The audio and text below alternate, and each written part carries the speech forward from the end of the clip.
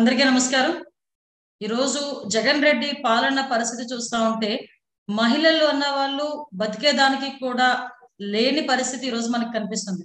ఎందుకంటే ఇన్ని రోజుల వరకు కూడా సాధారణంగా మహిళలు మాన ప్రాణాలతో చెలగాటమాడాడు జగన్మోహన్ రెడ్డి అన్న విషయం మనందరికీ తెలిసిందే. ఓవరాల్గా మహిళలకు సంబంధించి మహిళా ద్రోహి ఈ జగన్మోహన్ రెడ్డి అన్న సంగతి కూడా మనందరికీ కూడా అర్థం అవుతూనే ఉంది. కొన్ని సందర్భాల్లో అతను చేసే కార్యక్రమాలు కానీ జరిగిన సంఘటనల దృశ్యం. కాకపోతే ఇప్పుడు మేము ఏం చెప్తున్నామంటే ఈ రోజు జగన్మోహన్ రెడ్డి తాలూకా పిచ్చి పీక్స్ కెళ్ళి తన పరిపాలన దక్షత లేని నాయకుడిగా అంటే ఒక అనుభవం లేని వ్యక్తి సీఎం అయితే ఎన్ని రకాలుగా ఇబ్బందులు పడతారు మహిళలు అన్నదానికి తార్కాణమే. ఈ రోజు జగన్మోహన్ రెడ్డి పాలనలో మహిళల తాలూకా తాలిబొట్లు తెగిపోతున్నాయి. ఎందుకు ఈ మాట పర్టికులర్గా మేము చెప్తున్నామంటే నిన్నగాక మొన్న మన జంగారెడ్డి గూడెంలో చూసుకుంటే రెండు రోజుల వ్యవధిలో నాటు సరా తాగి పదిహేను మంది కుటుంబాలు చని పదిహేను మంది వ్యక్తులు చనిపోయారంటే అన్ని ఇంచుమించుగా చెప్పాలంటే పదిహేను కుటుంబాలు రోడ్డును పడ్డాయి. అంటే ఇప్పుడు విషయం ఏంటంటే ఎన్ని బూటకపు హామీలు ఇచ్చాడండి ఇదే జగన్మోహన్ రెడ్డి? పాదయాత్ర టైంలో బుగ్గలు నిమిరి తలలు తలలు నిమిరి బుగ్గలు నొక్కాడు ముద్దులు పెట్టాడు మీకు అసలు ఎట్టి పరిస్థితులను మద్యపాన నిషేధం పూర్తిగా చేస్తాను అక్క చెల్లెమ్మ అన్నాడు. దశల వారీగా మూడు దశల్లో మద్యపాన నిషేధం చేసేస్తానని చెప్పి సీఎం అయిన తర్వాత మాట మార్చాడు.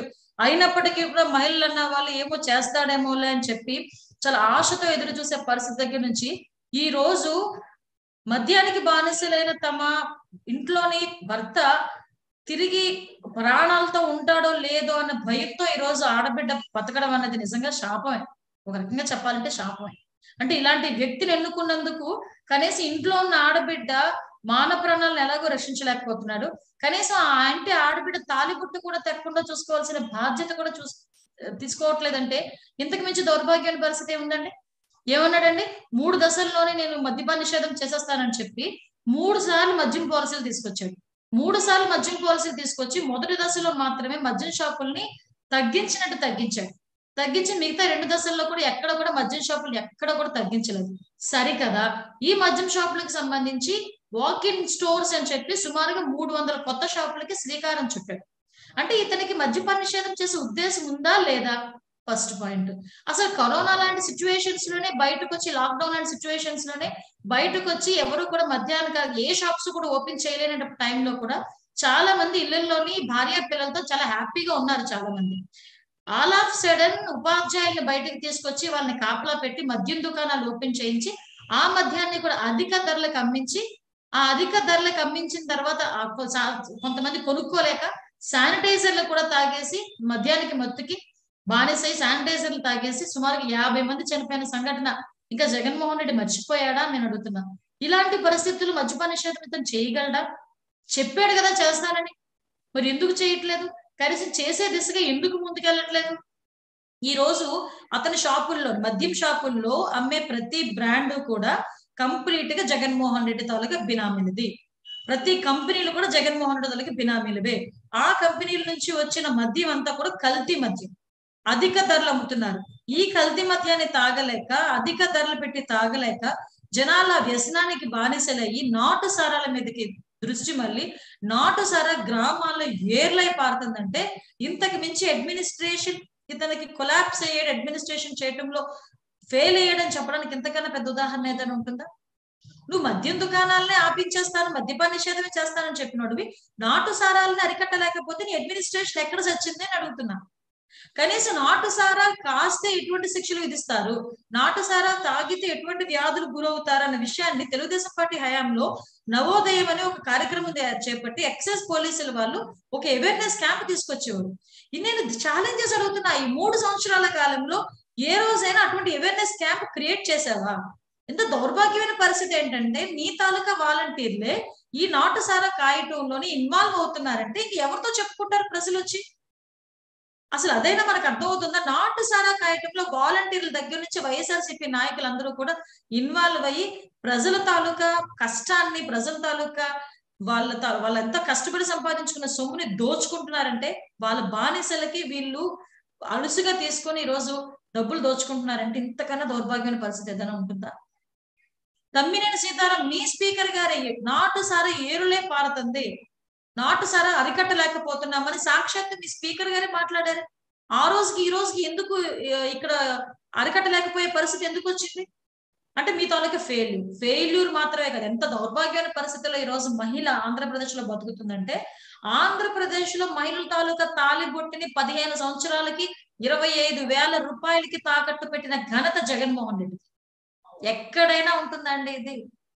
మద్యం షాపుల మీద వచ్చే డబ్బుల్ని పదిహేను సంవత్సరాలకి తాకట్టు పెట్టి ఇరవై ఐదు వేల కోట్ల రూపాయల రుణం తీసుకొచ్చాడంటే ఇంతకు మించి దౌర్భాగ్యం ఏంటి? అంటే ఎంతమంది ఆడబిడ్డల తాలూకా తాలిబొట్లు తెగిపోయినా నీకు సంబంధం లేదు. కేవలం నీ డబ్బులు నీ జేబుల్లోకి రావాలి. ఇక్కడ ఒక విషయం కూడా గ్రహించాలి. ఉన్న మద్యం షాపుల్లో ప్రతి ఒక్కటి కూడా మద్యం అక్కడ నుంచి సరఫరా అయ్యేది కూడా మిథున్ రెడ్డి సరఫరా చేస్తారు మిథున్ రెడ్డి తాలూకా వీళ్ళు ఎంపీ మిథున్ రెడ్డి తాలూకా కంపెనీల దగ్గర నుంచి ప్రతి మద్యం షాపుకి మద్యం వస్తుంది. వాళ్ళ తాలూకా అవుట్ సోర్సింగ్ వాళ్ళు ఎవరైతే ఉన్నారో వాళ్ళే ఉద్యోగాలు కూడా చేస్తారు. ఇదంతా ఒక సెటప్ ఒక టీం సంవత్సరానికి ఆరు వేల కోట్ల రూపాయలు ఓన్లీ మద్యం మీద వీళ్ళకి వచ్చే ఆదాయం. ఆరు వేల కోట్ల రూపాయలు ఒక వెయ్యి కోట్ల రూపాయలు కొనుగోలు చేసినది ఎవరికైతే అయితే వాళ్ళకి వెళ్తుంది. మిగతా ఐదు వేల కోట్లు కూడా మనకు వాళ్ళ జేబుల్లోకి వెళ్తున్నాయి.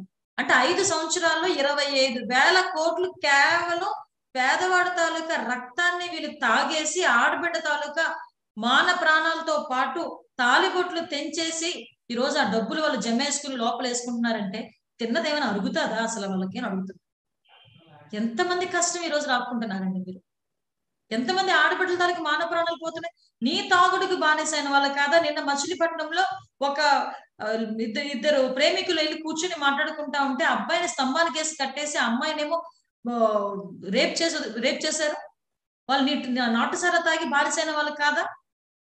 ఎంత ఈ నాటు సారాకి బానిస ఈ గంజాయి పెరిగిపోయి డ్రగ్స్ పెరిగిపోయి వీళ్ళందరూ కూడా యథేచ్ఛగా కామాంధుల్లాగా నిజంగా రాబందుల్లాగా ఆడబిడ్డల మీద పడి వాళ్ళ మాన ప్రాణాలను చెరిపేస్తా ఉంటే ఇప్పటికి కూడా సిగ్గురాని సీఎం ఎవడైనా ఉన్నాడంటే జగన్మోహన్ రెడ్డిని చూపించవచ్చు సారీ టు సే మేము ఎందుకు బాధపడుతున్నాం అంటే మేము బాధపడుతున్నాం.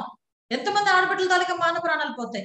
నీ ఇంటికి కోతవేటు దూరంలో సీతానగరంలో జరిగిన గ్యాంగ్ రేప్ విషయంలో అప్పట్లో ఉన్న మీ డి గౌతమ్ సవాంగ్ గారు కూడా మీ డీజీపీ గారు కూడా ఆ రోజు ఏమన్నారండి? ఇది గంజాయి బయట చేసిన సంఘటన అన్నారు. ఏ? మరి గంజాయి ఈ రోజు వరకు ఎందుకు మీరు ఆపలేకపోతున్నారు? గంజాయిని ఎందుకు అరికట్టలేకపోతున్నారు ఈ రోజు వరకు? డ్రగ్స్ ఎందుకు అరికట్టలేకపోతున్నారు? డ్రగ్స్ అరికట్టలేరు. గంజాయిని అరికట్టలేరు. నాటు సారాన్ని ఆపలేరు. మద్యపాన నిషేధం చేయలేరు. ఆడబిడ్డల మాన ప్రాణాలను రక్షించలేరు. ఆడబిడ్డలు తాలిబొట్లు తెంచకుండా ఉండడానికి కూడా ప్రయత్నం కూడా చేయరు. మీకు సీఎం గా ఉండే అర్హత ఉందా?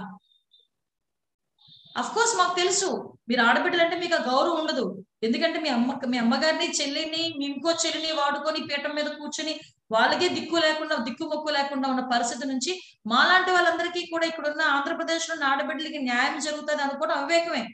కానీ అడ్మినిస్ట్రేషన్లో కూర్చున్నది మీరు బూటక హామీలు ఇచ్చింది మీరు మాట తప్పు మడమ తప్పు అని చెప్పింది మీరు మీరు ఈ వెన్నిటి మీద మీరు నిలబడి ఉండాల్సిన అవసరం ఎంతైనా ఉంది రోజు.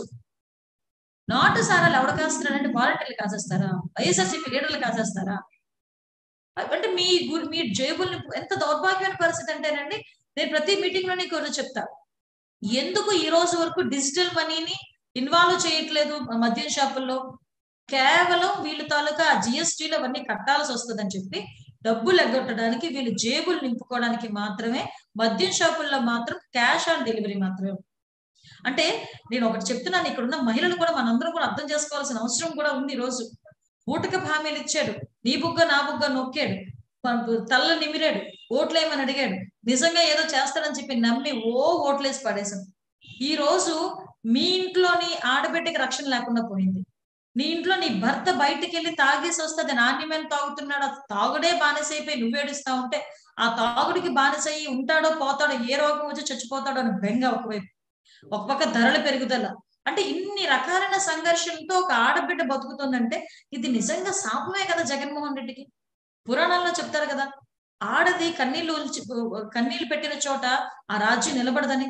ఆ మాత్రం కామన్ సెన్స్ కనిపించట్లేదా జగన్మోహన్ రెడ్డికి? ఇంకా ఎంతమంది ప్రాణాలు బలి తీసుకుంటావు జగన్మోహన్ రెడ్డి?